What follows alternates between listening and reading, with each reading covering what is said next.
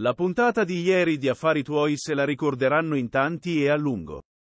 A tirare i pacchi, alla ricerca del premio più ambito da 300.000 euro, due sorelle provenienti dal Trentino Alto Adige. Non c'è stata, ve lo diciamo subito, nessuna vincita incredibile.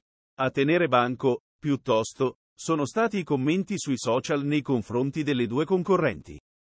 Concorrenti che già Amadeus aveva pizzicato in apertura di puntata quando la concorrente Carmela aveva raccontato di avere origini. Il conduttore, nel presentare la sorella, ha detto: Abbiamo Calogera, scherzando sulle radici che le vengono dal papà siciliano.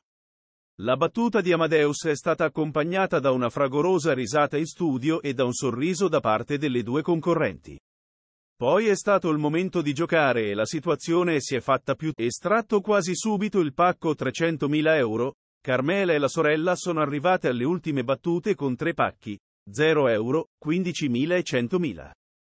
Il dottore offre alle due sorelle concorrenti un contentino da 17.000 euro. Martina rifiuterebbe ma decidere è Carmela, che accetta pur di non tornare a casa a bocca asciutta.